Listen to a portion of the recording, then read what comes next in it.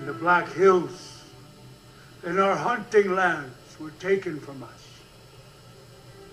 Sitting Bull might have had his say, but such was his suspicion of the whites. Such was his pride.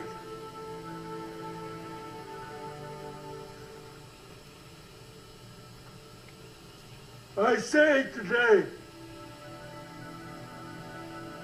for all ears within hearing,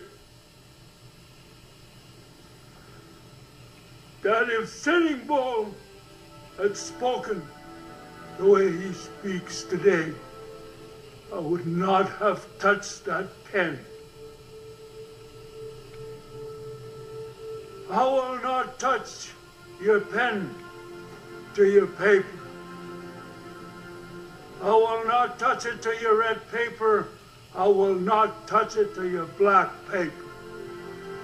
The white man will not see my mark again on this paper for the rest of my days on this earth.